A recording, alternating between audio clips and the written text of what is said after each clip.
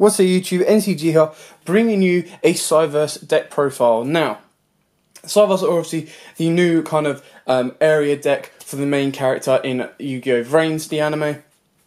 And we received the Cyberse Link deck um, not too long ago, and it has provided Cyberse with more support um, which can be used in generic decks as well, but most of it has been for the archetype itself. So what I've done here is I've kind of put the two decks together that we got, the Cyberse Link deck and the Cyberse deck. Um, the main deck is, is quite focused around just using cards from those two, but then when you get to the extra deck, you do have to branch out a little bit more. Um, now that's both both good and bad. The good thing is because Cyberse is the main um, the, the main deck of the anime, the cards like Firewall should be getting reprints soon-ish. Um, but on the downside is at this moment in time, stuff like Firewall is quite expensive. So um, this is full powered as we can be at this moment in time. I've tried to um, give you a range of stuff so you can play with it yourself. Uh, but without further ado, let's crack onto the deck profile. So we start off with triple boot staggered. Uh, now this is a really cool card. It kind of it helps you get your Cyberse monsters to board um, so if a Cyberse monster is normal summoned to your side of the field, you special summon this card from your hand. Uh, you can only use it once per turn, and when this card inflicts battle damage to your opponent, you get to special summon a token. So you place it free because the majority of your deck is all Cyberse monsters. Um, it's always going to be live nine times out of ten, uh, and then the fact that you get a token off it as well can help you go into like Link Spider plays, or can just generally help extend your plays into your extra deck uh, and your Link monsters. Triple Balancer Lord. Now, um, you pay a thousand life points, and then your main phase you get to uh, gain an additional normal summon of a Cyberse monster. Um, if you don't want to play this card, you can play the Brilliant Fusion Engine. But what you've got to remember is, if you open up with the Brilliant Fusion Engine and you use his effect as well, you won't get you don't get two additional normal summons because the way it works under the rules is you can uh, where it says you can only gain this effect once per turn. It's relating to an additional normal summon. So you can't gain two additional normal summons from stuff like Balancer Lord and Seraphinite, which is the exact same thing we had with World Chalice and uh, the Guard Dragon. Uh, and then if this card is banished, you special summon one level 4 or lower monster from your hand, and you can only use the effect once per turn. Uh, triple backup sentry. So if you control a Cyberse monster, you special summon this card from your hand. Um, so you can only special summon it once per turn. So straight away, if you open up with these two and another Cyberse monster, you normal summon the Cyberse monster, special summon Boot Staggered, to be totally honest, you could get four on board straight away. Um, if you open up with these three straight away, you normal summon the Balancer Lord, you special summon the Boot Staggered, you then get to special summon Sentry, and then you can pay a thousand life points for a Balancer Lord to get another normal summon. Um, no, obviously, I'm not saying that's a perfect combo, but it is kind of a four card combo that can get you stuff straight into a Firewall or can get you into a Borreload Dragon if you want to play that instead. Triple Draconect. Um, so when this card is normal summon, you special summon a level 2 or lower normal monster from your hand or deck. So again, continuing with these three cards, if you open up any com combination with that card, you can flood your board with five monsters straight away, um, doing it the right way. Uh, and then you can extend your plays into like Link Spiders, Deco Talkers, and kind of go from there. I played double Beatron and a one Digitron. Uh, Beatron just has more defense. Uh, Digitron is for more an offensive play, but they are Earth as well, so they can help contribute to your um, Missus Radiant plays as well. Play double Launcher Commander, so all other Cyberse monsters you control gain 300 attack and defense, and then once per turn you tribute a Cyberse monster, then target one face up monster your opponent controls and destroy it. So sometimes it can be a nice little out to some of your opponent's monsters, um, maybe if they're unaffected by spells or traps or just stuff like that, he can be quite helpful. Uh, and again, Earth for um, your Missus Radiant plays. I'm trying out two just to confit. This is just to kind of extend the plays and you know give you more consistency of getting into a link monster early on um, and kind of helping extend your plays because he's not a special summon once per turn. Um, you bring this guy out, use him as a link material, and then you can bring out another one and link up with that. Uh, you don't have to play him, so he can e be easily taken out. Double Ron Clouder and one Ram Clouder, um, or Cloudia and Clouder.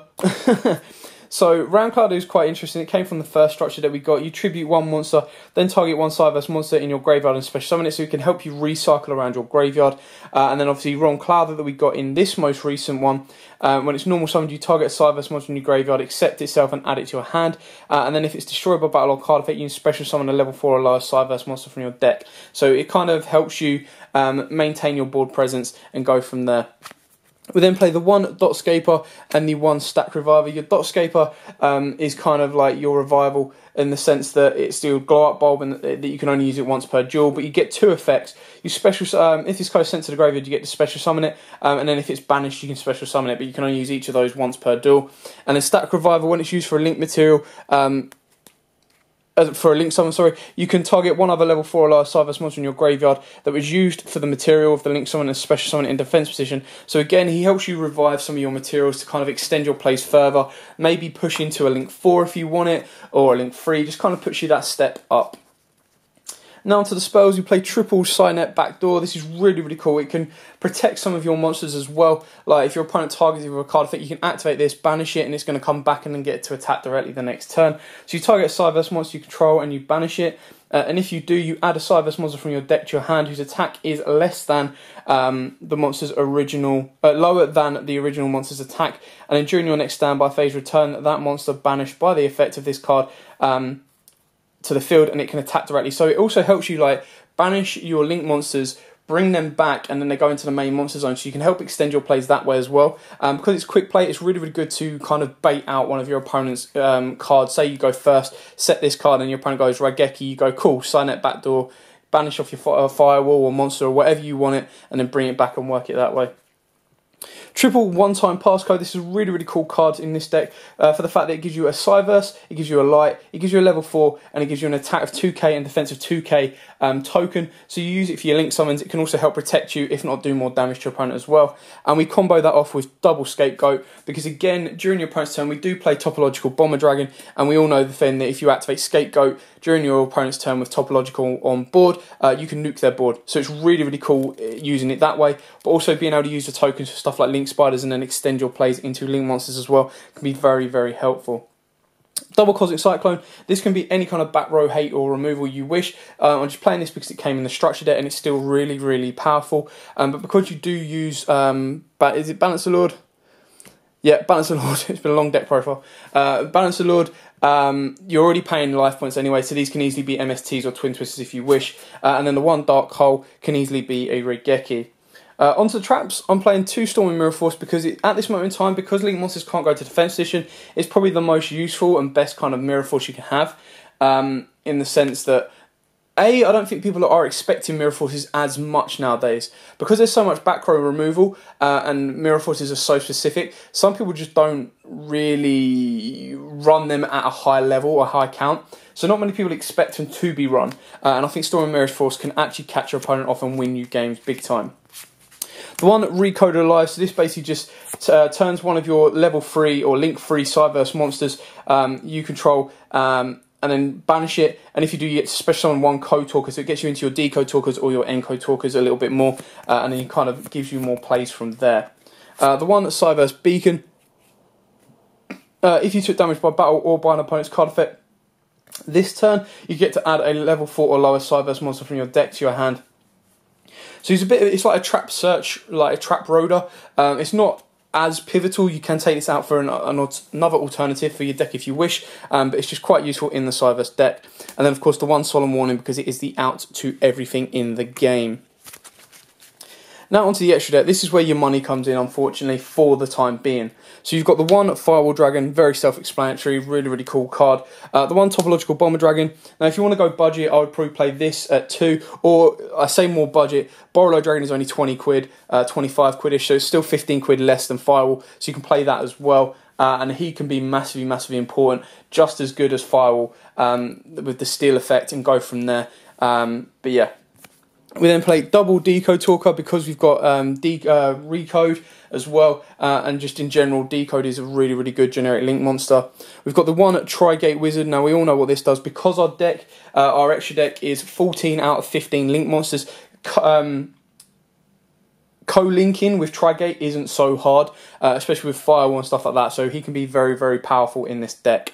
Uh, the one Encode Talker, the one Gaia Saber. So this is your alternative. Like if, if, you get a Link Free monster on board, you've got your tokens. You go into D, uh, Gaia Saber, but you can also go into Link Spider. Then use one token, go into Link Spider, then use the remaining three tokens of Scapegoat, go into Gaia Saber, and then straight away you've opened up two link zones on your main monster zone, uh, and then you can use Spider, um, or any of your other monsters to go into Missus Radiant and kind of extend that way as well. So Gaia can be really, really important in the deck. The one Ningirsu, the World Chalice, because he's a non-target in removal in the sense that um, you play loads of link monsters. So just being able to put two link monsters together straight away in that combo there, like I told you, with the Gaia Saber and obviously the Link Spider, you'd probably make it a little bit easier. You'd probably just make two Link Spiders, then go into your Ningirsu, um, and then obviously in turn go from there. But again, you can obviously go into your Link Spider use free tokens going to your Gaia Saber, then get a, another monster on board and just kind of extend your plays like that and use two Link monsters to get into Ningirsu uh, and you can just open up more plays for your deck and it can also help contribute to your um, mutual link as well. The one Akashic Magician, I really, really like this card. I rate it quite highly in the sense that for 10 to 12 pound, I think it's a really, really good card and can be quite effective in the meta. Um, it's a really fun card to play, and while they're cheap, you might as well pick them up.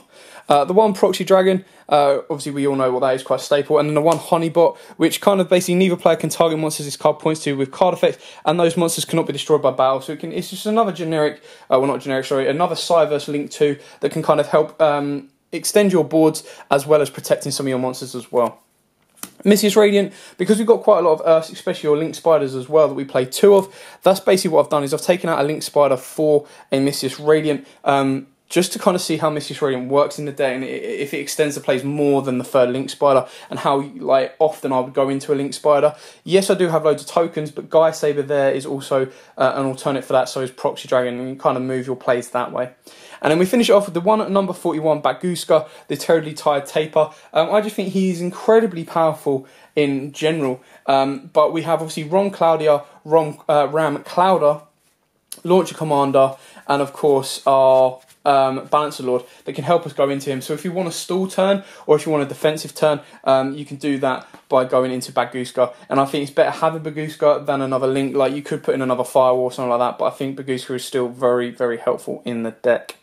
Anyway, that is it for the Cyberse profile. It's still in works. There's still bits of uh, teetering to do with the deck, um, but as for now, it is still quite fun to play, uh, and I'm still waiting to get a deck, uh, a game together of Cyberse versus Rokkets and have like a re- uh, reanimated um, anime kind of battle. But anyway, thanks for watching. Don't forget to like, comment, subscribe, share, uh, and until next time, guys. See ya.